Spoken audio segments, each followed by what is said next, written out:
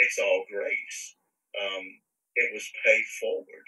Mm-hmm. I'm just stepping into something that already that he'd already done, mm-hmm. and so it's not really it, it it hasn't it doesn't need a conscious decision to not be egotistical about that. The fact that he already did it um, is in and of itself. It humbles me.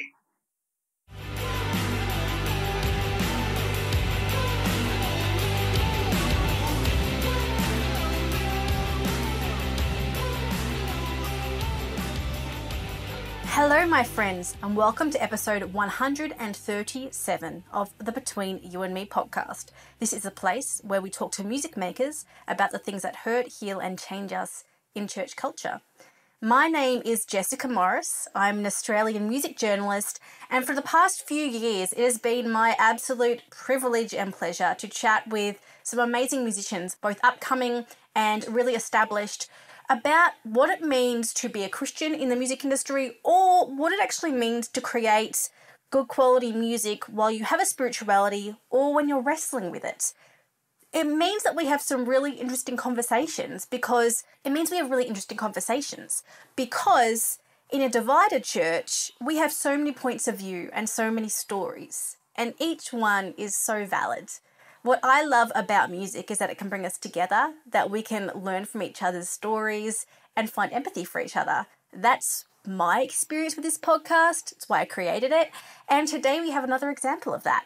Today we are speaking to, I would say, like a country music legend slash he became a Christian music singer. His name is Tim Menzies. Now, Tim Menzies has been creating music for longer than I have been alive. This man has got Grammy nominations. He's written for people like Reba McEntire, Kenny Rogers. He's recorded country albums and he's recorded Christian music albums. And there was actually quite a leap between them. His Christian music came later in life. Um, but this coming week, he's releasing his new album, Christian Country Roots in the Genre, if you can stick them together. And it's called He Reminds Me. Now, Tim is so, so passionate about God. He's passionate about God. He's passionate about crafting great songs. This man is like a consummate mu- musician. You will hear that in this. And he's also really passionate about truth telling. So, what was fascinating for me is that in a genre that I know very little about, I'm talking like country roots and even Christian country roots, he really revealed to me a bit more about the culture, the culture of middle America, um, and what it looks like to have a deep, profound, active Christian faith in those areas. I can't wait for you to hear from Tim. He tells me about his album, but he also tells me about his story. This guy became a Christian later in life because his kids started going to church. Um, it's quite a fun story and there's a lot to it. Now, a lot has been happening in Christian culture this week. I'm talking particularly about the revivals happening across America and in some other countries around the world. Uh, most notable, I guess, would be the Asbury College revival, as it's been called, knowing that that's appeared on the news and all over social media.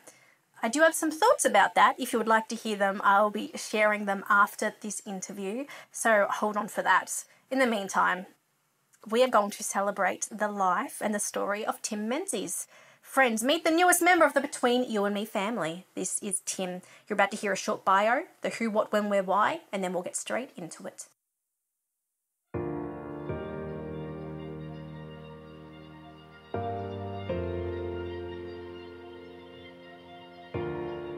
Trying to wrap up the career of Tim Menzies under 10 minutes is a challenge. This Grammy nominated roots and country singer has been in the music industry since he was three. Yes, quite literally. As a third of five children born in Mechanicsville, Virginia, he joined his family band, and by the time he was eight, he was touring full time and playing mandolin. I can't do that at all. We're talking opening for artists like Johnny Cash, Dolly Parton, and more. Now, with his intention set on becoming a full time musician as an adult, Tim moved to Nashville in the 80s, and his wealth of experience treated him well. He would join the band Bandana and they were signed to Warner Brothers Records. And between 1985 and 87, they experienced success when their tracks charted on the Hot Country Songs charts. Tim actually left the band in 86 and began to pursue solo music and songwriting, often going by the name Tim Menzie. and in 89 he penned the hit Mama Knows, which was recorded by Shenandoah. Now, this caught the attention of Columbia Records, and he soon received his own record deal and dropped his debut solo album in 1990. Titled Stone by Stone, it featured tracks like Hometown Advantage and had moderate success on the country charts, peaking at 72. This album was followed in 1992 by This Old Heart, released by Giant Records. And it was actually around this time that Tim became a Christian, but I'll let him tell you that story. Let's just say it changed the way he wrote his music.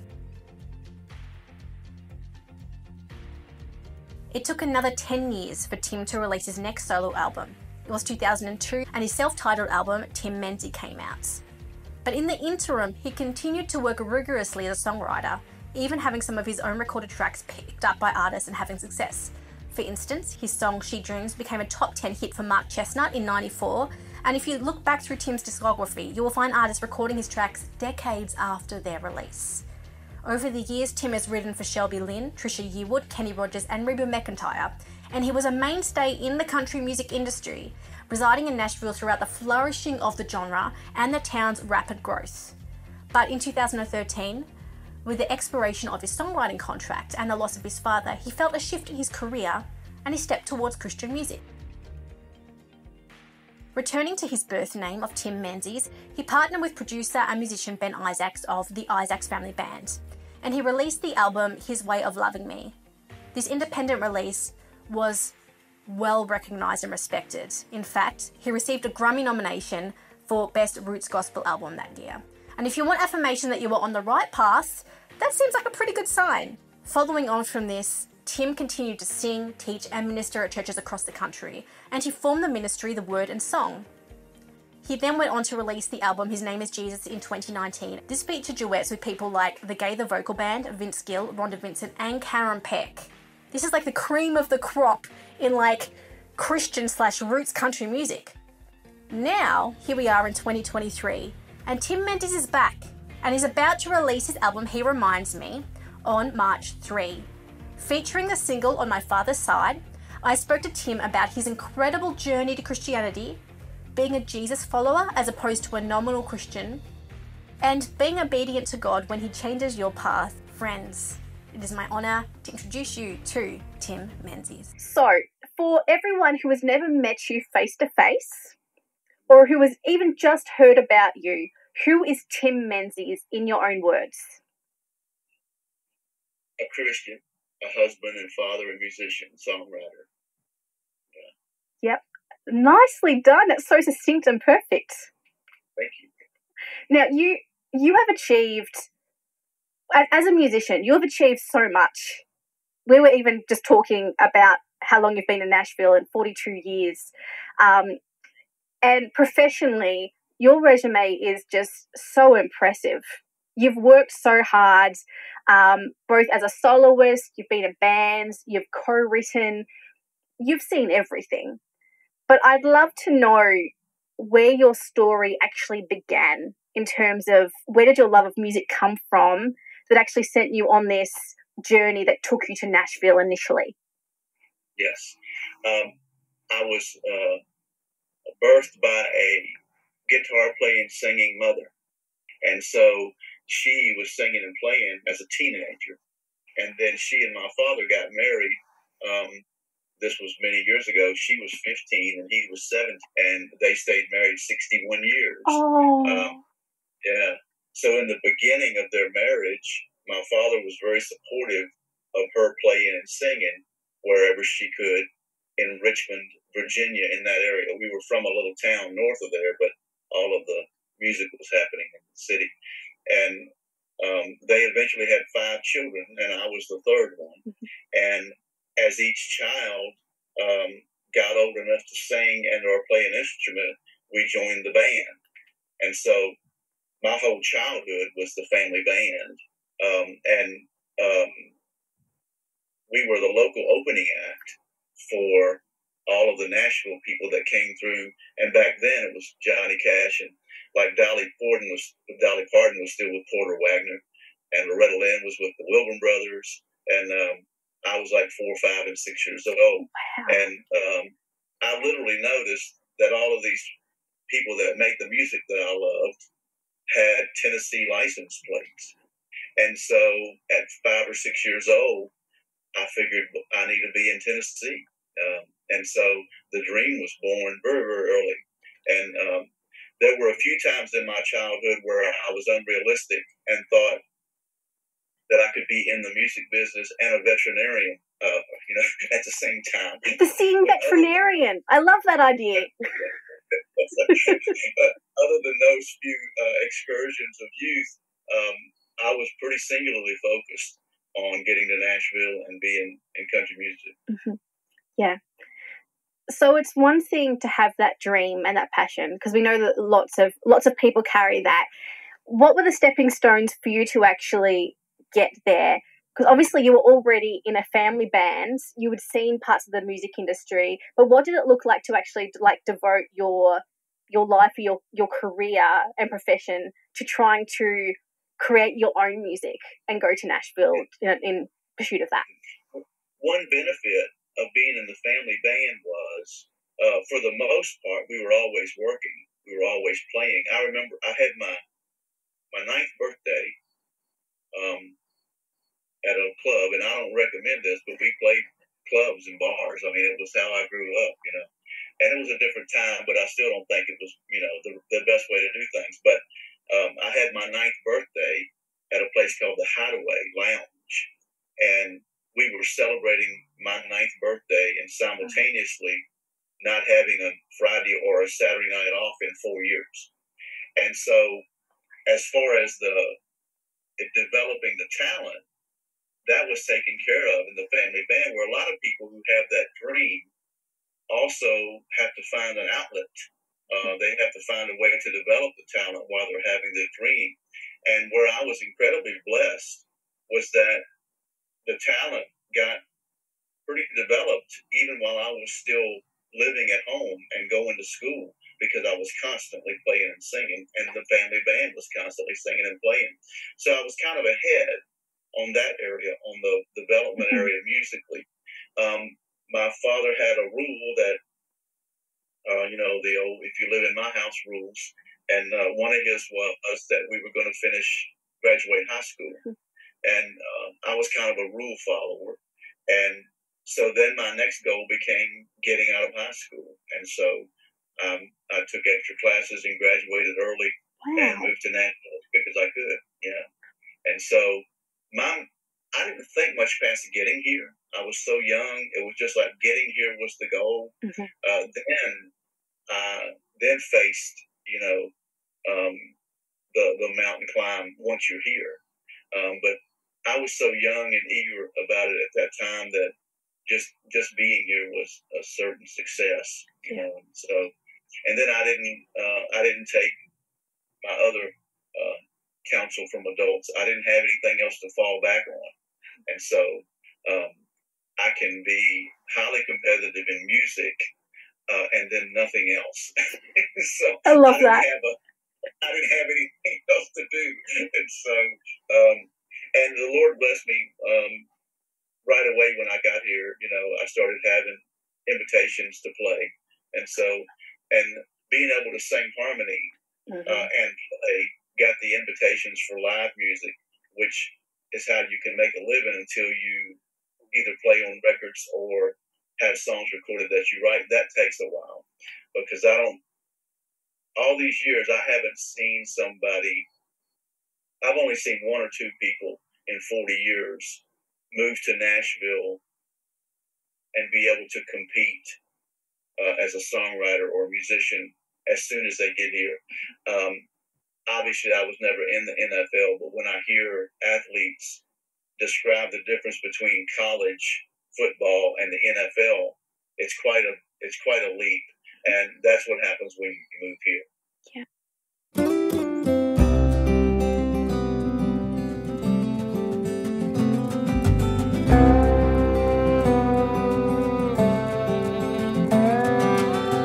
I dropped my keys on the way out the door.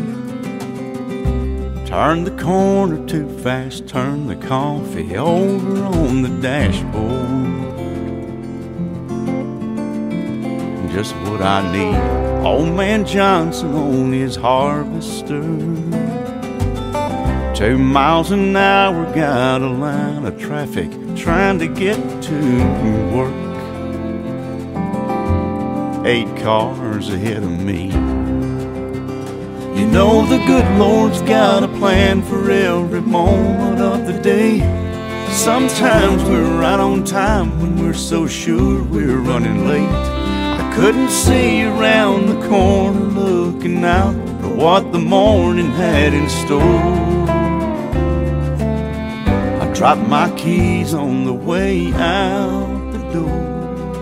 I mean, we'll get to your story about how you met Jesus because that's a wild part of your story too. I love this. Um, but I'm curious in these early days in Nashville, you are finding your feet. What did your identity look like? What did it mean to you? Because at this point, you hadn't given your heart to Jesus, and as far as I know, you hadn't yet met your wife. Uh, Well, I, I met her in Virginia. oh, And yes, yeah. And um, I knew I was moving here, uh, and she was a singer.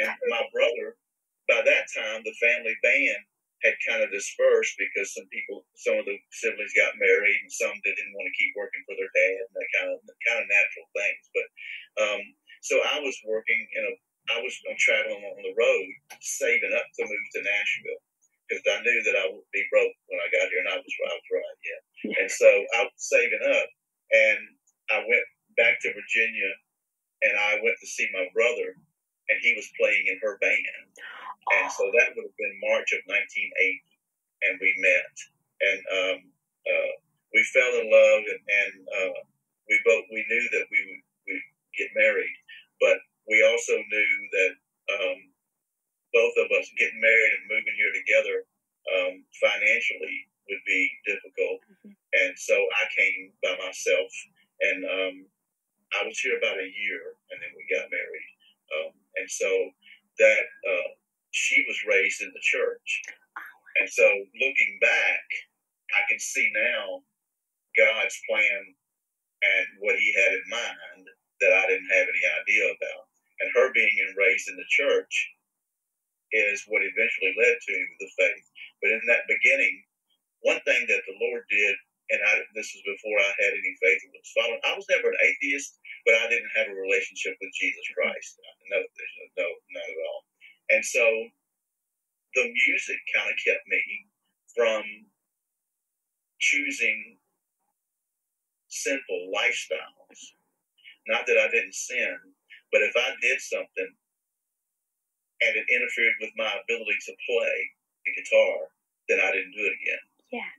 And so most things that hurt you uh, inhibit your ability for your motor skills Yeah. and the ability to play. And so it was one way, without me knowing what was going on, I think it was one way that the Lord was kind of preserving me for my ministry. Uh, that I was so in love with the music that I didn't do things consistently that interfered with that. Yeah. And so I didn't really have. I was never, like I say, I was never an atheist, and I never, I never looked around at creation and didn't know that there was a creator. But I was not necessarily seeking his wisdom um, as to what I was, how my life would go. But I was so focused on the music that that, in a way, kept me out of a lot of potential trouble yeah, that I see a lot of people get into when they move here. yeah. That makes a lot of sense. So your now wife moves to Nashville with you. You guys get married. What was your journey to starting to not only attend church but go to a cell group, give your life to Jesus? How did that all happen? Yeah. Well, we were married in 1982, Mhm. and um, you know, just normal, young, struggling, and that kind of Mhm. thing. And then um, we did plan our child, and he was born in '85. And when he, he got to toddling around, my wife felt compelled to have him in the church the way she was raised. And I didn't mind them going, but I refused to go. Um, and growing up, I only heard negative things about the church. Um, and so I just, my, my impression of it was that I didn't need it, you know. And so uh, when he was about five, they came home from church, and I was in the kitchen, still half asleep, you know, my sleep clothes, and, and uh, he walked up, and he's like five, and he said, "How come Mammy and Papa go to church, me and her parents, and me and Mama go to church, and you don't?" And there I was, you know, kind of trapped in my own kitchen by a five-year-old, and my first thought was, you know, he'll think of something else and take off, and I don't have to, you know, he's kind of got me trapped here, you know. and uh, but he didn't move, and uh, I didn't know the Lord. I didn't know a little child will lead them. I didn't know that it was the Lord moving, and he just stood there and stared me down. And uh, my wife was still in the doorway, and I'm looking at both of them, and they're looking at me, and I knew in that moment everything that I was going to tell him as to why I didn't want to go was an excuse. And I knew if I gave him an excuse, that then he was going to want to use that same excuse. Oh, wow. And that that would hurt her. And so it, it was closing in on me, you know. And I didn't know what else to say. And I said, well, I'm going to start going.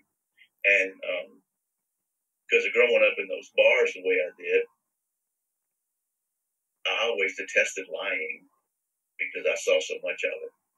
And the Lord knew that. And He knew that if I told my son I was going to go, that I would go whether I wanted to or not. Because uh, I didn't want to go. and so, I mean, I'm just, just, just honest. I didn't want to go, yeah. you know. And so, um, as I thought back, because as as you're living an experience, you're not mentally recording it mm-hmm. because you don't understand what's happening until you have hindsight. And so that was about June of 1991. And uh, the cell group, as you say, was a Bible study mm-hmm. that started about in August. And my wife came home. And now, when I went to the church that first time, uh, I felt the presence of the Holy Spirit. I didn't know that's what it was. I just knew there was something that my writing career, my country writing career, was going great. I was having a lot of success. Um, but when I walked in that church, I knew that there was something there that I didn't have, and I was very attracted to it, and I wanted more of it, although I couldn't identify what it was. Um, and I know now it was the Holy Spirit in those bodies of Christ uh, meeting in that church. And so no one had to talk me into going anymore. I was loving it but I wasn't committed to Christ. And um, my wife came home and said the church is having a Bible study, and it's that same kitchen. And um, I heard myself say, "I want to go to it." And so like, what did I say to that? You know, uh, and it ended up being a 34 week study. go through Revelation 22. Revelation! Oh wow! Extensive and I just absolutely fell in love with it. And and look at this, Jess, the way the Lord does. I was making a living with stories, mm-hmm. and so now He starts me out in the Bible at Genesis one, which is stories. Yeah. You know, I mean, it wasn't like a, a big theological endeavor. I started reading these stories of how God interacts with His people and before I could mentally defend it or understand it, I knew it was true. Now, looking back, I know that I knew that in my spirit because I knew it was true and couldn't defend it. But I knew it was true. And the thing that is amazing to me, too, is I didn't join that Bible study to prove God's word or, or disprove it or agree or not. I went neutral.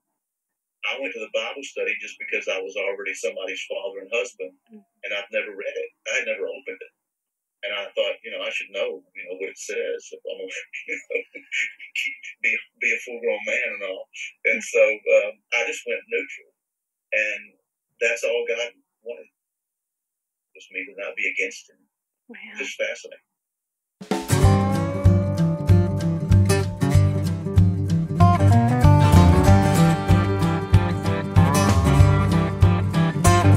There's power in those pages. Grab a Bible, look it up. You won't find a loophole to water down the blood. That crown of thorns was jagged, the nails pierced in the wood. We can't sugarcoat the story.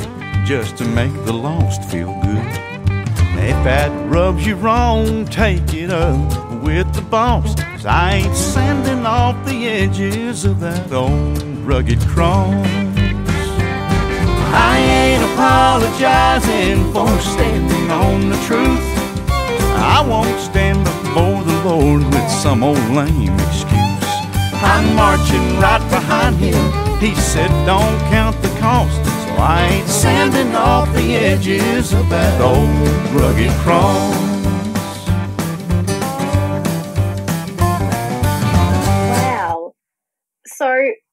All of this happens. You come to a point where you overtly choose Jesus? Because I know that you're loving it, but where, when was the point where you actually went, I believe in God and I'm choosing to follow Jesus? This is another thing that's, uh, it doesn't follow a doctrinal path or a denominational path. Um, I started becoming very uncomfortable with myself and my decisions and my worldview. And I didn't understand that there was a transformation beginning, and we were still in the Old Testament. I hadn't gotten that. And uh, one night after class, and, and I've had to look at all this retrospectively.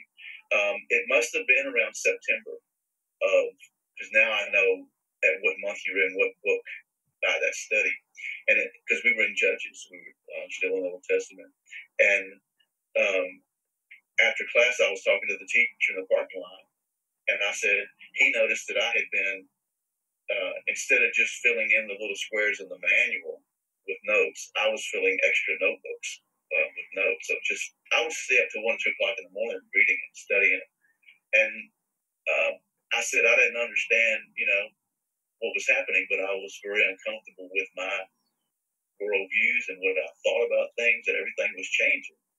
And he explained to me that the Lord was transforming my heart and that would have been about September of 91. And when we got to the New Testament around January, um, it really exploded to me as to what had already happened. That's the thing. Um, now, confessing and professing the name of Christ and getting baptized, that happened in March of 92. Once I, learned, I knew what the Lord wanted me to do next. Because, like, when it was happening, I didn't know I didn't know that, that I, I, should make a public profession of faith. Mm-hmm. Um, and so uh, it was fascinating that I had been experiencing Jesus before I knew that's who it was. It's amazing. Mentally, it's still, uh, intellectually, you can't comprehend all mm-hmm. Yeah. It's a spiritual transaction. I love that. So, what did it look like for your family as a unit moving forward now? Like all, all following Jesus, knowing Jesus, being engaged. Did it did it change the dynamics of your life, or was that like the same as with your faith? Was that just sort of developing and growing as you got to know Jesus and the Holy Spirit more and more? Well, the we were very close because he's an only child, and all of our all of our families in Virginia and so we didn't have sitters. And that we, we was always together, the three of us. Um, so that part was established. Me as a father and a husband, and now knowing that I'm answering to Jesus, that it's no longer me making the decision of what's best or what behaviors are acceptable or not acceptable in the family. I'm taking my cues from Jesus. And so now, like church attendance and church service became a huge part.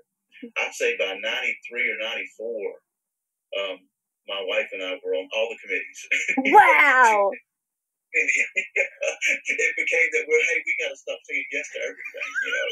Um, but it, it definitely, the whole dimension of church uh, exploded in our family. And the, the great thing about writing songs for a living it's a daytime schedule. And so I was available at night. And schedule wise, it's pretty predictable um, because you're not traveling. Uh, and I just went to Nashville every day for 30 years. Um, yeah. And so, and there's not, uh, you're not on a timetable. and when you write songs for a living and you have a publisher, you have a quota. There'll be an annual quota, and most companies check that every six months. But whether you write two songs in a week or one or four, that's that's completely up to your creative schedule mm-hmm. as long as you hit those marks annually. And so it was it was an excellent uh, vocation yep. while he was equipping me and um, teaching me his word. That's awesome. Jesus said the time has come for me to go. Don't worry, I will not leave you alone. I'll send the Spirit, He will live in you. His holy touch will guide you in all truth. And he reminds me, he teaches me.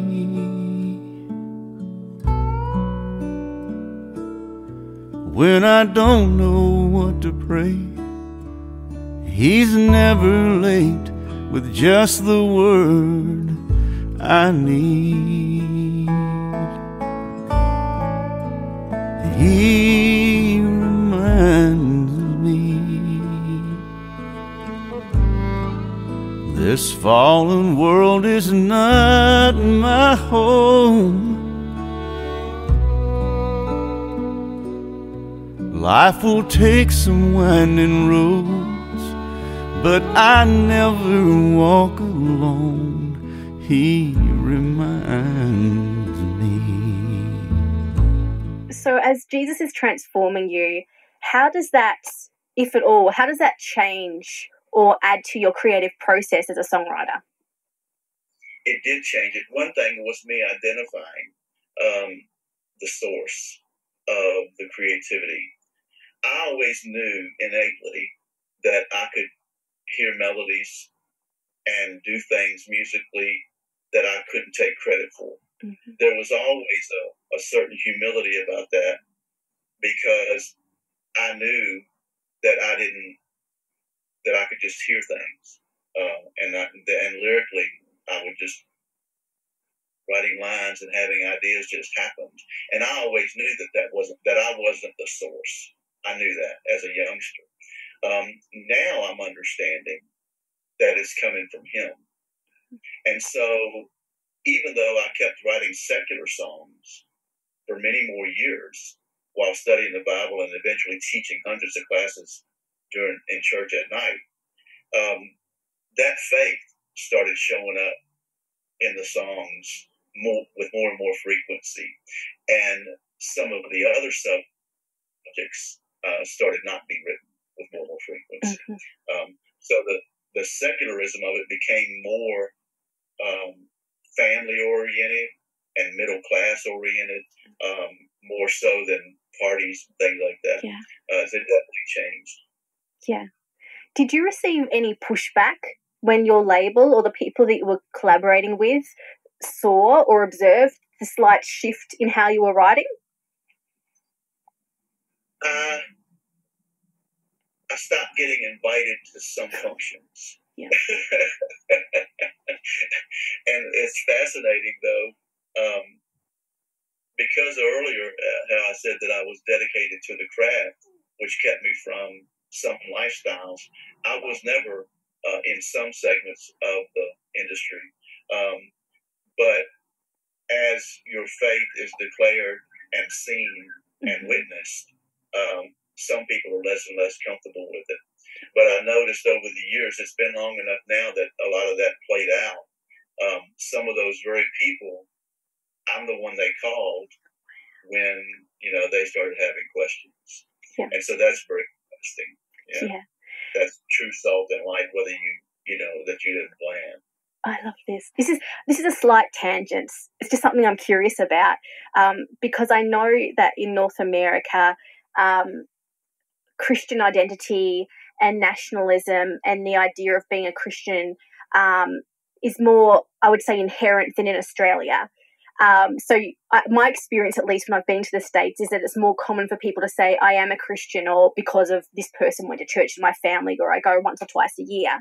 Um, was there a difference, like, when people saw you were actively living out a Bible believing, Jesus following, acting Christian, as opposed to just giving a nod and mentioning maybe God in a song because it, it was sort of part of the identity of country music?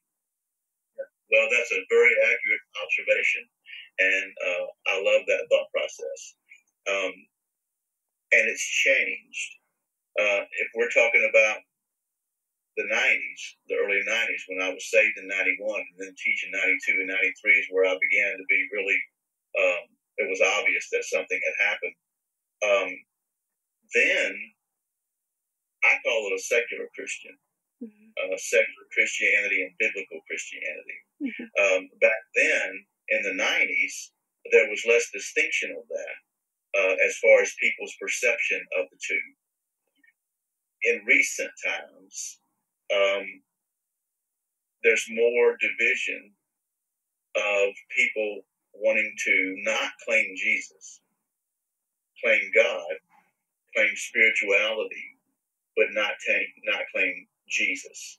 That's a big shift that's happened uh, lately in North America in the last 10 years, especially. Um, but there was definitely um, a difference. Some people would be at a bar getting drunk, claiming to be Christian. Uh, now, I'm not saying, I'm not judging behavior, but I'm saying that um, it depends on who you are and what responsibilities you have as to whether that's congruent. Um, but I think that your observation about North America is changing. Um, unfortunately, I don't think it's changing for the better. I think that more people are, un- are comfortable now saying, I'm not Christian, I don't believe in a creator. I think more North Americans are comfortable saying that now uh, than ever before.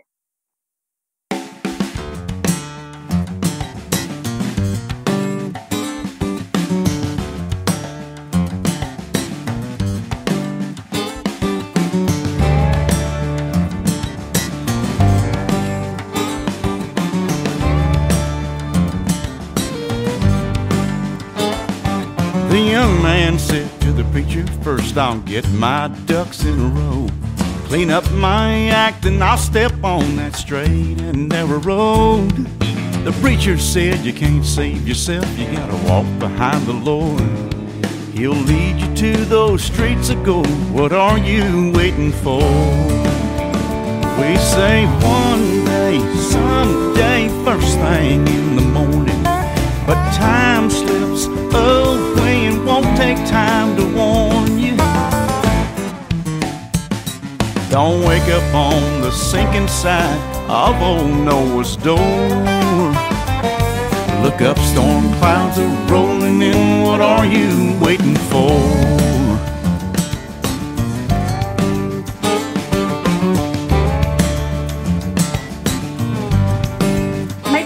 Decade ago now, you chose to start writing and creating and recording your own Christian music. Can you tell me what led to that decision?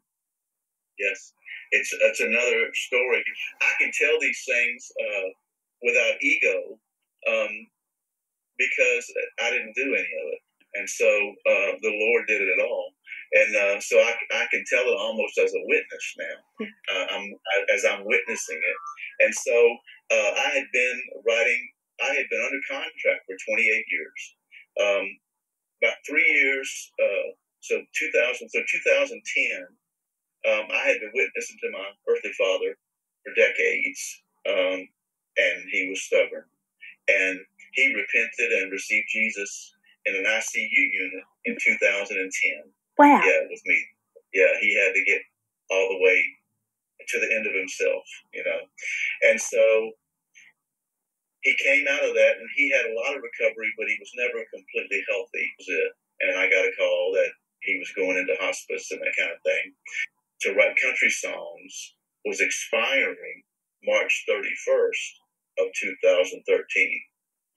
I had all meetings, and I had already had some meetings about renegotiating or whether I was going to do something different. So when I got this call, everything stopped, and I went home to Virginia to be with him and to be with my mom. I encountered some things that were unexpected, and he died February 22nd of 2013. And I stayed and helped my mother.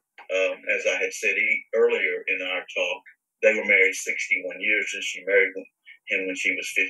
He was 17, and so that's all she ever knew. Mm-hmm. And even though I'm one of five, um, I didn't feel like I could leave her, and so I was there for eight weeks. Well, when I was in Nashville, from early 90s to 2013, I was writing songs in the daytime, and I taught hundreds and hundreds of Bible classes at night at church, Wednesday night, Sunday morning, Sunday night. And so uh, when I got this call, I went home, and when I was in Nashville teaching those classes, I never sung at church in Nashville because if you if you're a known songwriter and you have a Bible study class, everybody just brings you unfinished songs. You know, they want to just talk about songwriting. And so I didn't mix the two things. Well, when I went home and he died, my mother asked me to sing at my dad's funeral. Her pastor officiated the funeral. Well, then he kept asking me to sing at the church on Sunday. And I ended up being home eight weeks. And March 31st, my secular contract in Nashville was expiring. March 31st of 2013 was Easter. And he had asked me to sing at the sunrise service. And so I was singing in Mechanicsville, Virginia, where I was born and raised and where I had that initial dream of moving to Nashville. I was singing at an Easter sunrise service simultaneously with my Nashville publishing contract expiring. And the Lord told me that day that my season of writing country songs was over. And it was just an Ecclesiastes 3 kind of a moment of a time to tear, time to sow, and time to plant, time to reap. And it wasn't a struggle. I didn't. I had. I'd been so deeply involved in the church and in the Scripture and following Jesus. It wasn't him saying we're going to do something different. I don't fight it. Um, but I had no idea what I was going to do. And so I was home a few more weeks after that. I got back to Nashville. I think it was the last week of April of 2013, and I started. You know, I was praying about well, what you know. I know what I'm not doing, but what am I doing?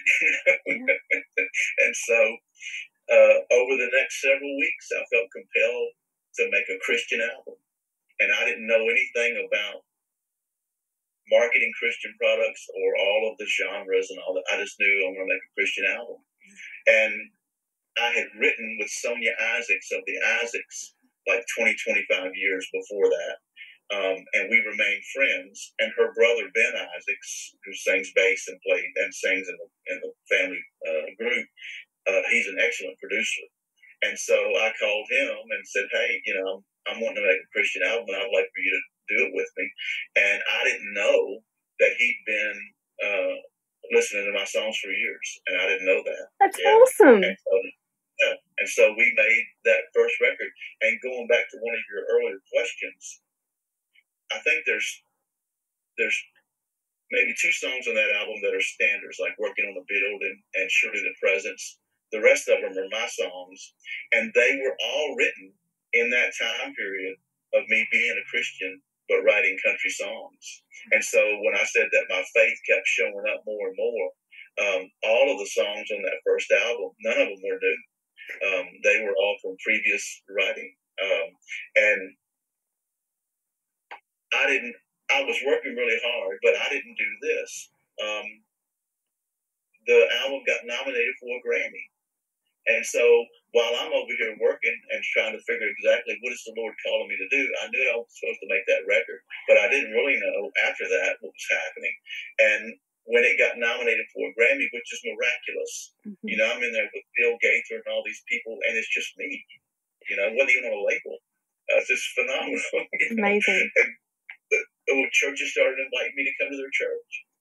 And that was 2014 by now. That's when I realized what the ministry was. It was me recording Christian songs and having a ministry called The Word and Song. And I teach the scripture, I read scripture, and the songs end up being kind of an application of the scripture mm-hmm. or a parable of the scripture. And but the reason I travel is God's word. Because um, if it was just about music, well, that's here in Nashville. You know, all the music's here, um, and so um, that transition was from the death of my early father, and I, I'm still fascinated by all through the scriptures origins are very important to God. For some reason, He took me back to Mechanicsville, Virginia, where I was born and raised, to change my call. And I still, you know, I don't, to the human mind, that could have happened here in Nashville. I could have, he could have called me while I was here. Um, but I'm still, I think there's some significance that I don't understand of my earthly father dying and me being in Mechanicsville, Virginia, when he changed my call.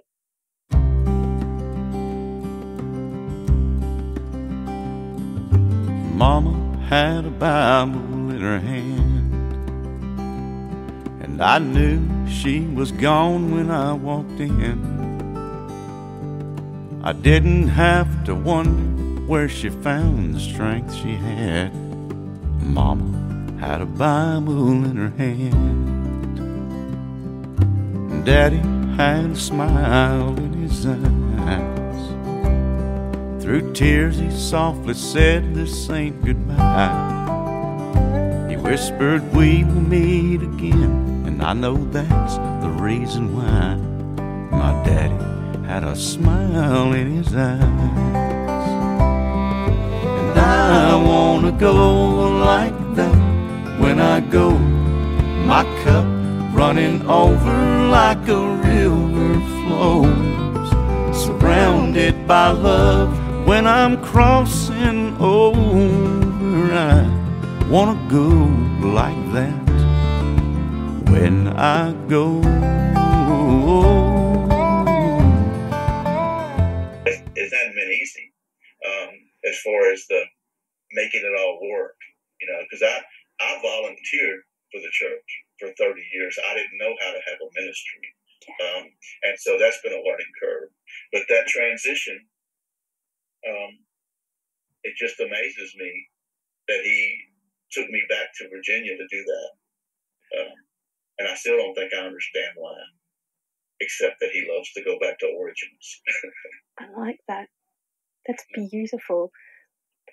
One thing that's been really clear to me as you've shared your story um, is that see I, at the start when i was talking to you i said your impression your resume is very impressive. Um, and there were things that were labeled grammy nominations things that just leave me gobsmacked. And as i'm talking to you um, there's a it's, it's not even an air of humility. You're literally in all that god has done all this in your life. Um, and he clearly has and i love that but it stands for me in contrast to the route that is very uh, easy and nearly set to take in in Nashville, but in in the music industry as a whole, where you can get very set and obsessed with numbers and having to sell records in order to make money, um, to impress labels, to impress fans.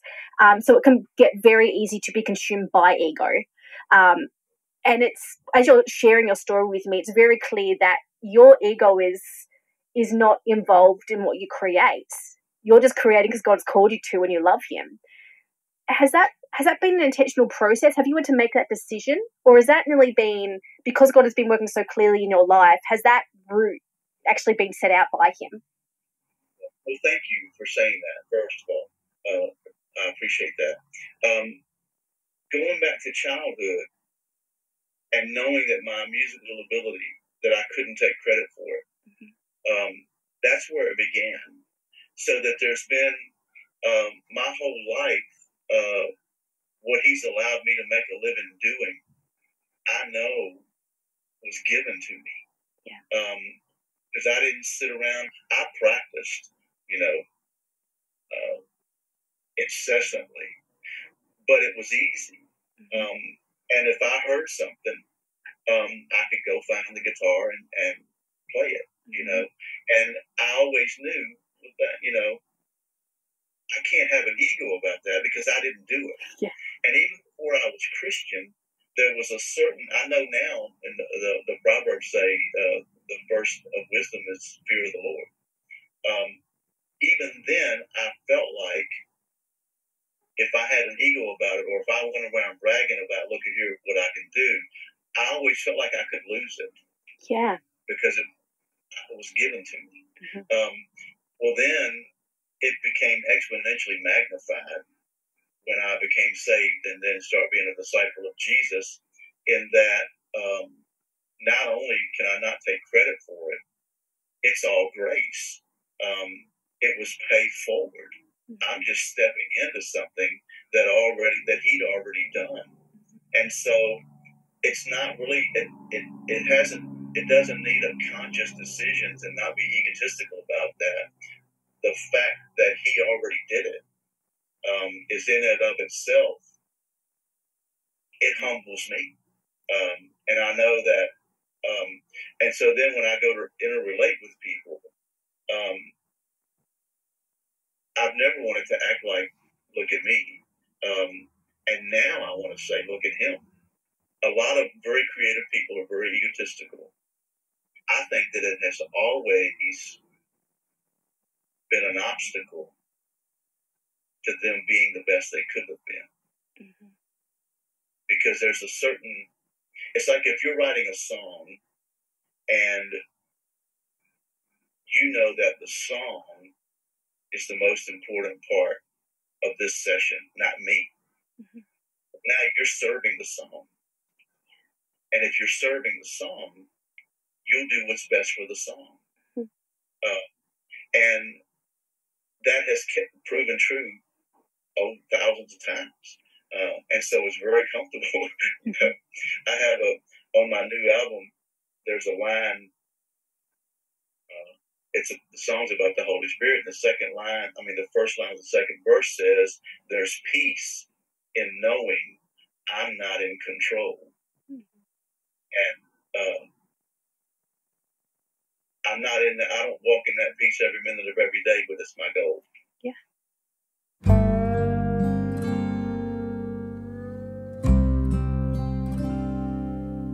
You said the word and there was light.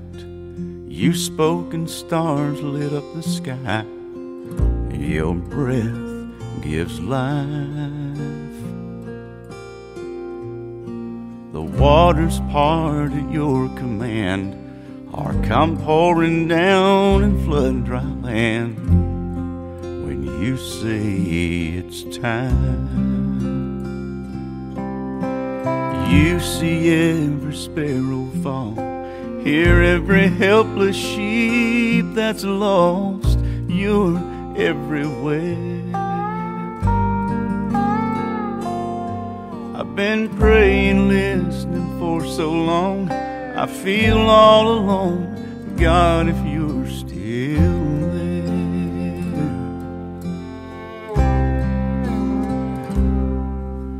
say something. Say something. I'm down here on my knees, asking you to please say something. And what's your latest latest release? Called, well, it's called "He Reminds Me." It'll be released March third. Oh, brilliant! How did I miss that crucial fact? we got a long distance here. You, it might be coming over now as we speak. Um, there's a single off of there called "On My Father's Side" Mm-hmm. that is uh, being played on Southern uh, Christian radio here uh, Yeah. at, at home now. But the album is March third. Amazing. And what is significant about this album for you in 2023? There's many, many things. Um, that first album, as I said, were just songs I had written over years. When I look back, it was father centric. There were many songs about the earthly father and the heavenly father. Then the second album, the one you just named, his name is Jesus, is son centric. Mm-hmm. And so now this one is He Reminds Me. It's out of John 14, 27. Jesus telling the disciples on the Thursday night before the Friday morning cross, I will send the counselor, of the Holy Spirit. He will teach you of everything and remind you of all I have said. That's what that song is. So now this is Holy Spirit centric. Okay. So we have a trilogy, a trilogy of a trinity of albums. Um, and I didn't plan that. I didn't even realize it until I was in the middle of recording the third album that, hey, you know, this represents a trinity. um, it's fascinating. Um, and so uh, this album, I would say, is the most informed by my going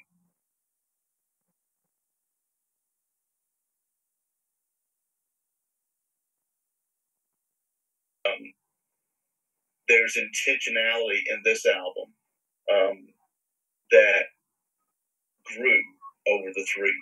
The first album, as I said, all the songs existed. The second album, there are two or three songs on there that were pretty new that I wrote thinking, I, I would like to have this subject, uh, you know, next time I come to this church. This album was completely um, formed with all of that in mind. Um, it wasn't like um, I didn't shove anything that wasn't happening, um, but it was with more information, more uh, more background that this one was written and and recorded, uh, and uh, I'm just thrilled with it. I love that. Do you have a favorite track on the album? A favorite track today, knowing it could probably change every other day. Yeah, and it uh, it depends on you know the the single that's out on my father's side is one of my favorites because it captures, I think, in a way that I haven't heard, and I can say this as an observer almost now, uh, the God Man. Um, the whole song is on my father's side, and through the song, Jesus is saying on my mother's side, they, the, the Pharisees are asking him in the temple, How old are you? And where'd you come from?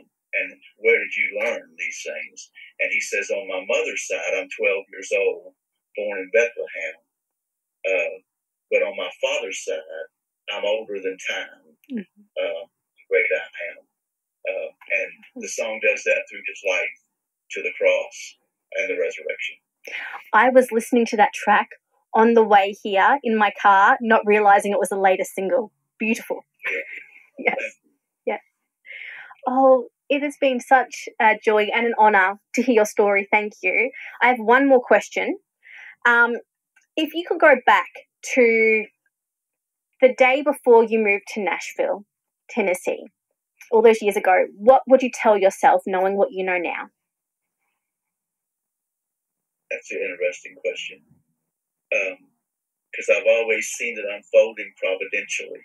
Mm-hmm. Um, uh, but I think I would tell myself to uh, see failure as part of the plan and to get to Jesus sooner than later. That's a good one. yes. Perfect. When I look back, it's kind of difficult to argue with the timeline. Yeah. But but we don't. We never know. I mean, if we know uh, Romans eight twenty eight. Uh, he works all things for good for those who love him and are called according to purpose. So I don't know if he called me earlier and I missed it. Mm-hmm. You know, but that's always something I wonder about. Yeah. Um, but uh, looking back, um, uh, it seems to make a lot of sense from this perspective. But I know that he's making good of what I messed up. And so, yeah. you know, I would have liked to have been less affected by career failure um, because um, I'm thankful for that resume. Uh, but what, what's not in the resume is how many failures there were. Yeah. Um, and so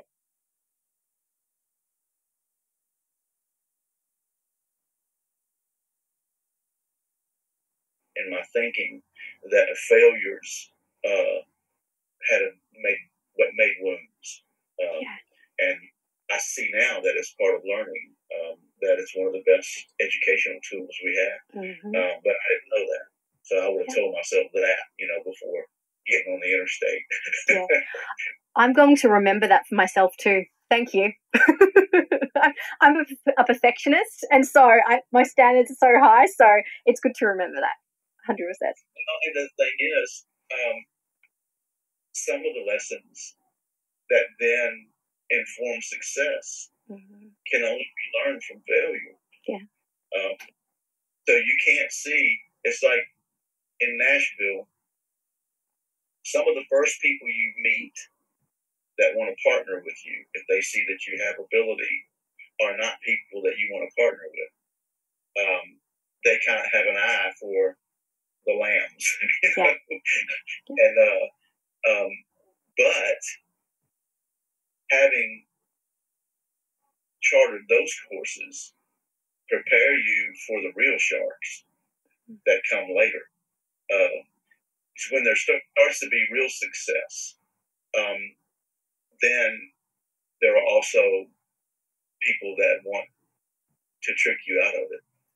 Um, and so learning in the beginning that everyone doesn't have your best interest at heart. Uh, it's better to learn that when the chips are small.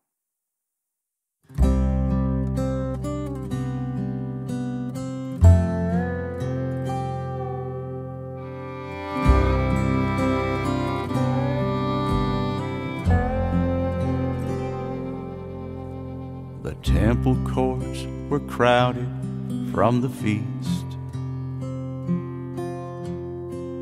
I sat there surrounded by all the Pharisees. They said, Who did you study under, son? How old are you? Are you here alone? Tell us where you're from. Well, on my mother's side, I just turned 12 years old born just down the road, down in Bethlehem. But on my father's side, I'm older than time. I am the light from up on high, perfect lamb, the great I am. On my father's side.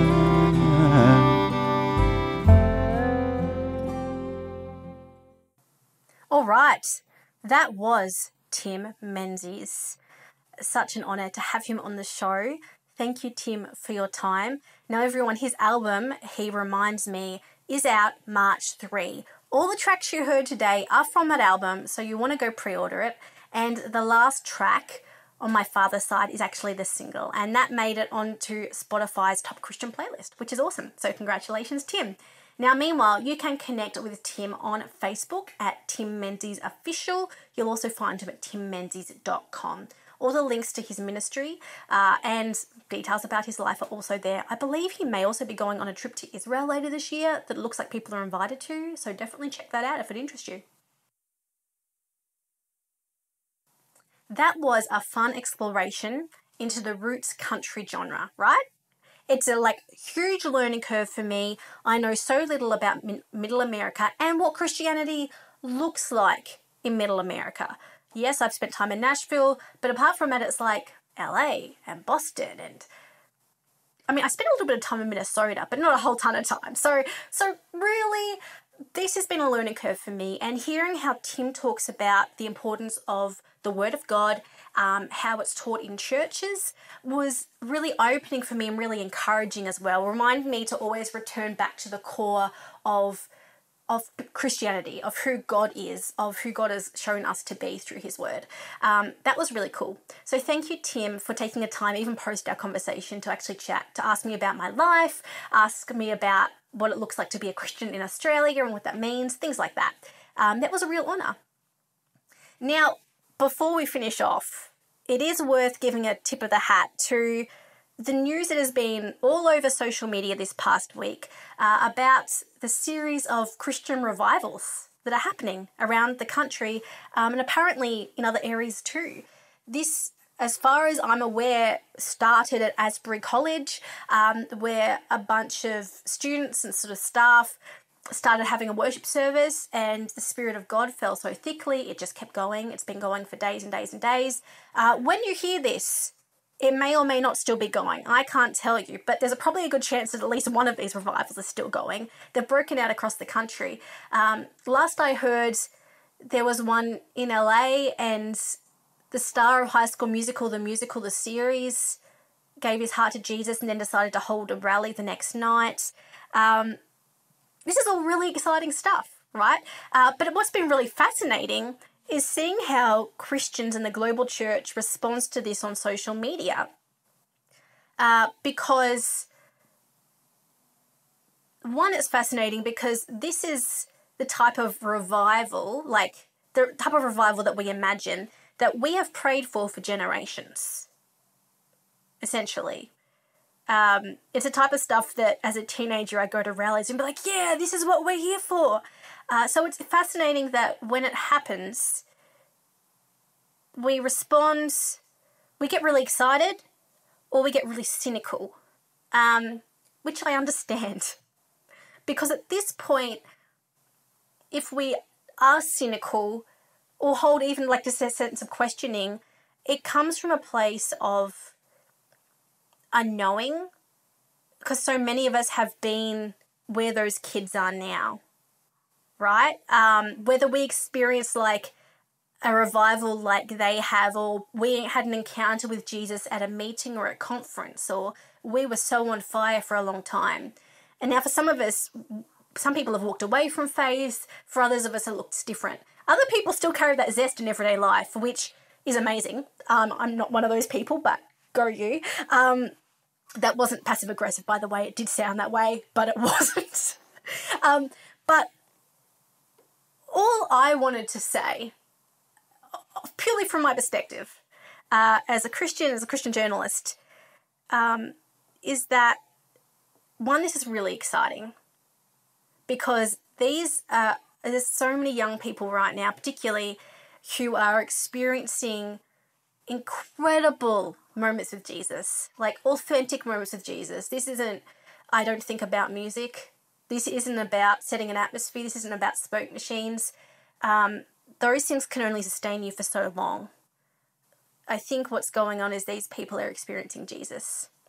Uh, and, and honestly, when you've got a team of volunteers and church staff, you do everything you can, but you're only human. So you don't have steam to keep going. At the moment, they're relying on caffeine and the Holy Spirit and hopefully the rest of their wider church community to keep cultivating this these spaces because this is the type of stuff that a church prays for and longs for and hopefully that God prepares you for right but um, when it happens I can't imagine I can't imagine like behind the scenes work that's going into this right now as they're trying to steward this really well so one I'm so happy for these people these people who are experiencing God who are encountering God whether they've known him before this is new how cool.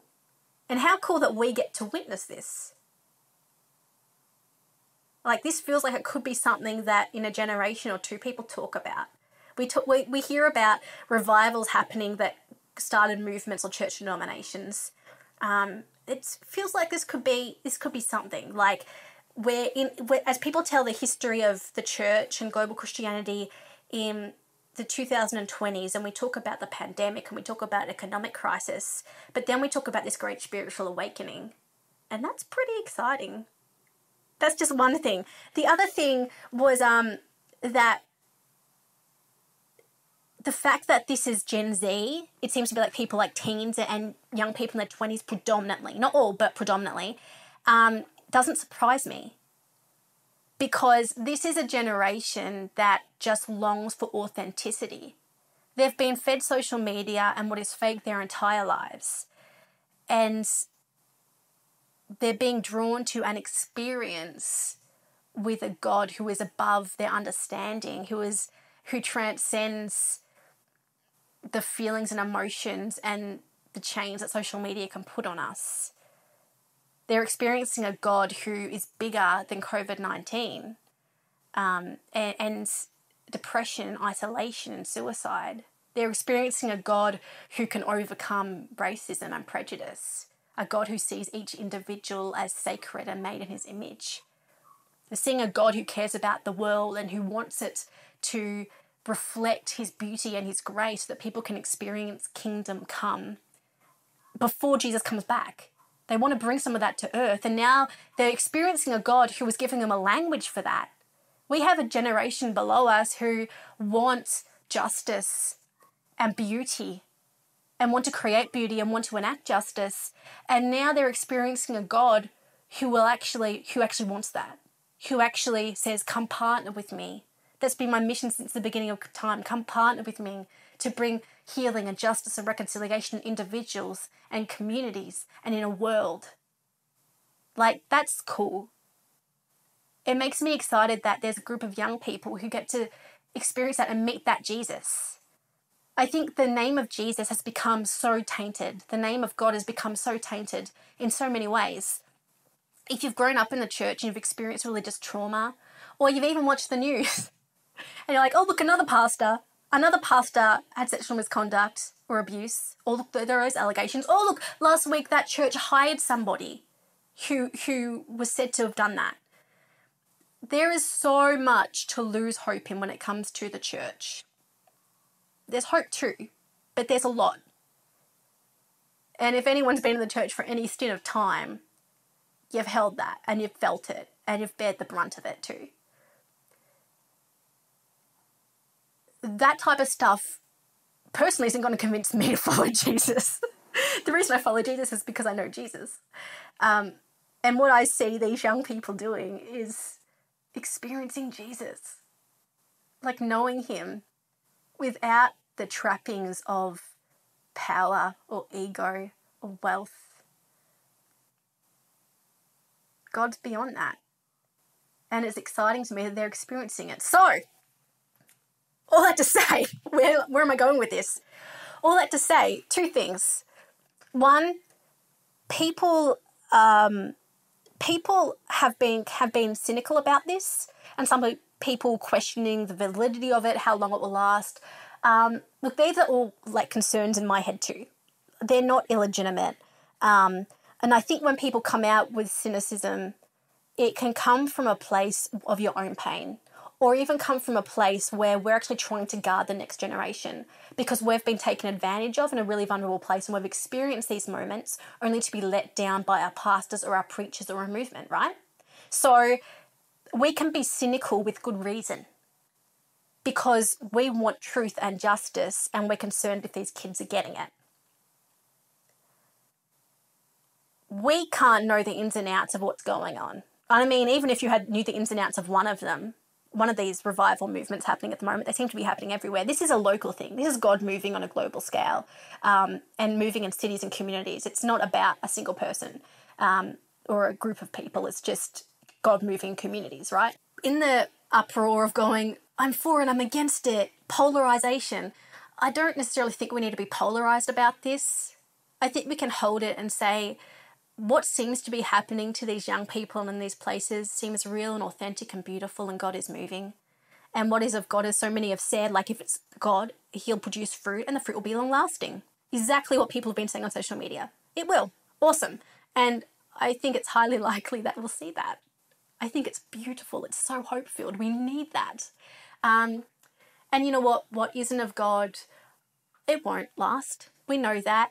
Um, but in the meantime, let's let's just hold space for these young people and the fact that they are experiencing something profound and beautiful right now.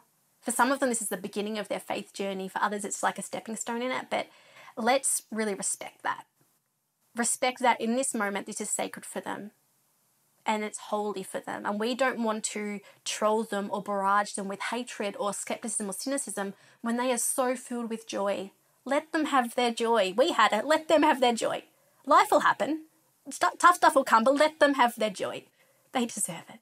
God wants them to have that joy. Um, second, last point. There could be uh, a temptation in Christian circles, because we are so excited about this, a lot of us, to start making certain people pin-ups. So I'm talking influencers in Gen Z or celebrities in Gen Z who are converted or who lead these movements, who we then go, we love them. They're going to be on the front cover of the magazine or on the podcast. Yes, I said podcast.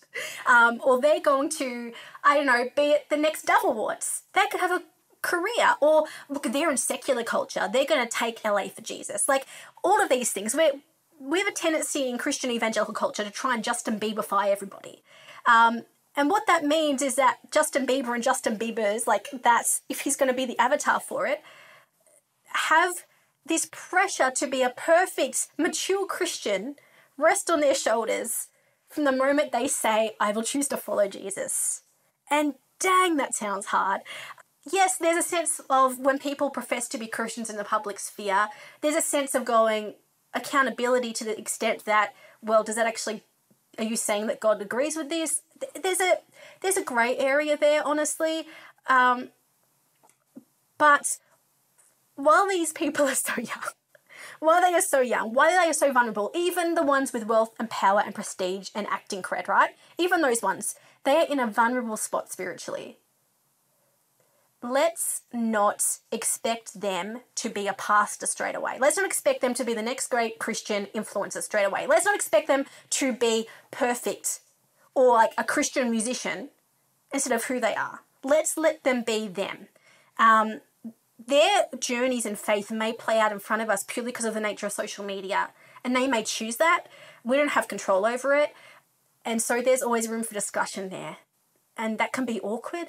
But let's have some grace on these people. Yeah, they have influence, 100%, but let's not monopolize their journey of Jesus for our own power and credibility. Jesus doesn't need that. Jesus doesn't need influencers or celebrities to make his name great. He already is great. Um, so if people are experiencing him as individuals and they already have some notoriety, then that's about them. And if, you know, God will use them because God's God. But it's not about us using them. They're not commodities. God's already in the work business of transforming people and saving the world. He doesn't need us to take over everything he's already at work. He's just we're just seeing some of it like spring up. We're seeing some of the spiritual fruit we've been praying for for years. Um, so let's let these people be people. Let's let them have their joy. Let's let them take their journey and hope and pray that they are like plugged in to people who will like legitimately do life with them, with community who are like not uh, who are not awed by them with community who will just walk through it, do the deep work, build the faith, build the roots, like do all the things that it requires to follow Jesus in everyday life, no matter who you are or what your status is. That's a heart check thing for me too, because I always get so excited about quote unquote Christian celebrities. You should have seen me when I was a kid. Like I heard someone went to church and I was like, oh my gosh, I'll see them in heaven. Yeah, but you know what? Awesome. Let's let them just be them transformation doesn't happen overnight. Even the disciples had a long time, and I mean, even when Jesus died, they ran and they had a good few years with Jesus, seeing everything. So there's grace. Let's have some grace. We can have just good discussion, robust discussion, but let's have some grace.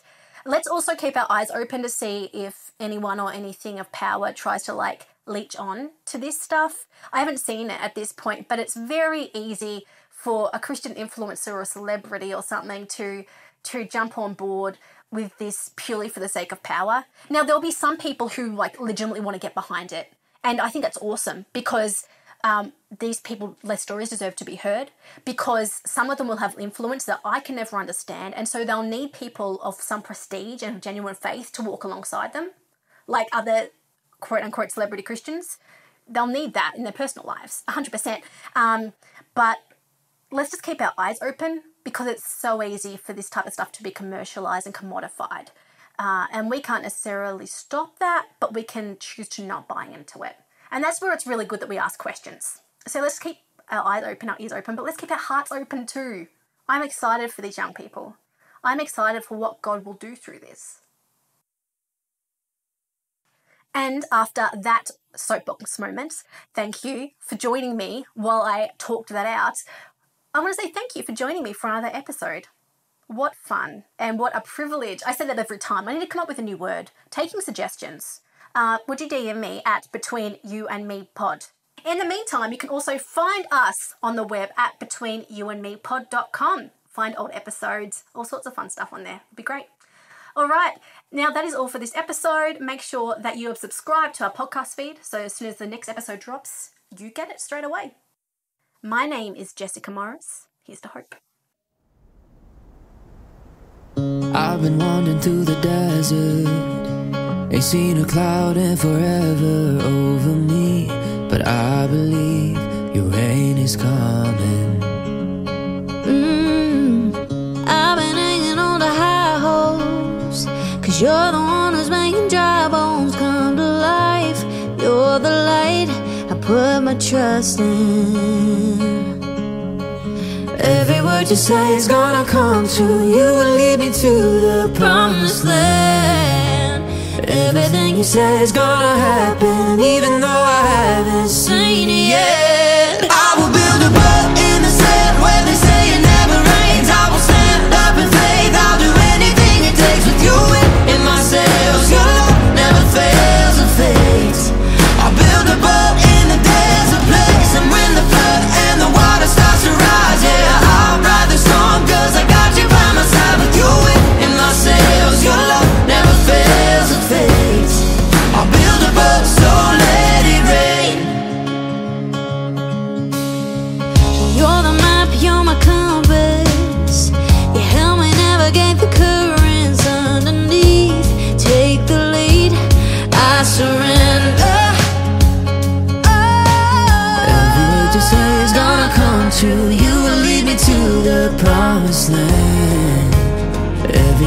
Everything you say is gonna happen,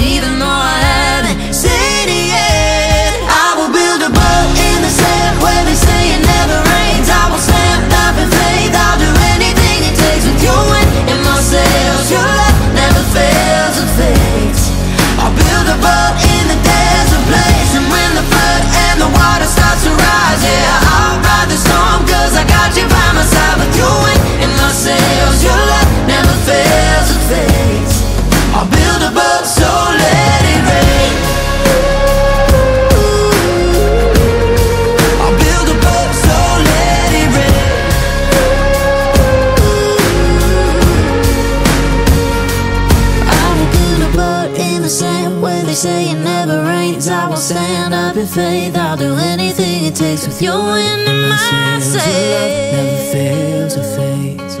I'll build a boat in the desert place And when the flood and the water starts to rise Yeah, I'll ride the storm Cause I got you by my side With you in, in my sails Your love never fails or fades I'll build a boat so